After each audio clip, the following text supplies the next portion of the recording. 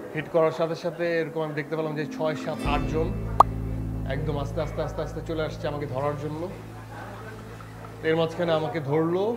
আমি আর সবার সাথে পেরে উঠতে পারলাম না। আমাকে স্টেপ করা হলো কোপ দেওয়া হলো। আপনি তো ভাই রোমান্টিক হিরো অ্যাকশন হিরো রাগী হিরো কিন্তু আপনার প্রথম প্রেম কেমন? আমি তো খুব বোকা। আমি যা একজনের সাথে প্রেম করছি চোদ্দ বছর।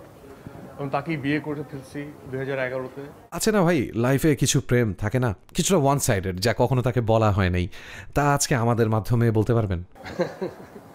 কেন আপনাদের মাধ্যমেই বলতে হবে? আমি অন্য মাধ্যমে বলব। এটা যদি থেকেও থাকে। আপনাকে আমার সুবিধার মনে হচ্ছে। প্রেমের জন্য কখনো মারামারি করেছেন? বা মানে ওই যে যাকে বলে জ্ঞানজাম করেছেন ভাই? ভাই এই একটা প্রেম নিয়ে কত জায়গায় নিয়ে করছি?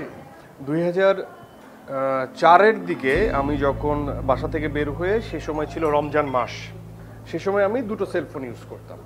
একটা ওই দিনই কিনেছি আর আগে একটা ছিল। তো এটা নিয়ে বের হয়েছি রিক্সায় যাচ্ছি ধানমন্ডি আট নম্বর মাঠের সামনে। রাত তো গভীর।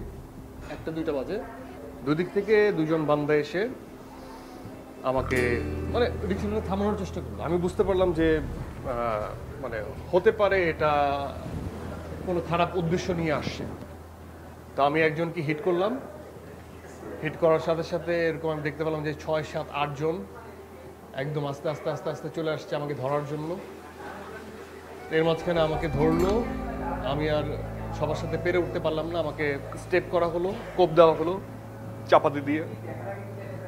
আমাকে মারাই হলো আর কি। এবং আমার সেলফোন মানে ইনজুর্ড করে চলে গেল না তো আমি যতটুকু সম্ভব প্রতিহত করার চেষ্টা করলাম, নিজেকে বাঁচানোর চেষ্টা করলাম। এরপরে আমার টি শার্টের দিক দিয়ে পুরো ছিঁড়ে গেছে।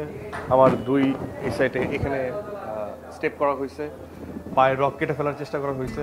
তো আমার মনের মধ্যে সবসময় এই দুই হাজার চারে ঘটে যাওয়া এই একটা কোশ্চেন মার্ক থাকতো যে, যদি ছিনতাইকারী হতো, তাহলে তো সব কিছু নিয়ে যেত।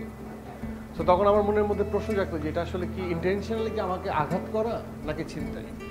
সো এই কোশ্চেন মার্কটার জটলাটা শেষ হয় দুই হাজার তেরো সনে। আমি মানিকগঞ্জে খুব শীতের রাত, ভোরবেলায় আমি মানিকগঞ্জের রাস্তায় হাঁটছি, কারণ আমি যেখানে থাকতাম তার নিচে।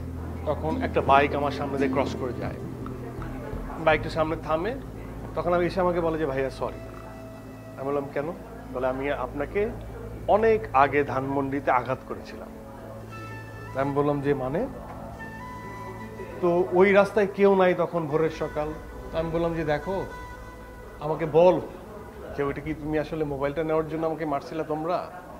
নাকি এটা প্ল্যান ছিল? তখন ঘটনাটা সে বলে দিছিল, যেটা হচ্ছে আমার ভালোবাসা কেন্দ্রিক, বউ কেন্দ্রিক, প্রচুর দ্বন্দ্ব, বিভেদ, অনেক কিছুই তো হয়। তো কোনো কারণে তখন আমি ক্যালকুলেশনটা করলাম যে, বউয়ের জন্য হয়তো বা মাইরও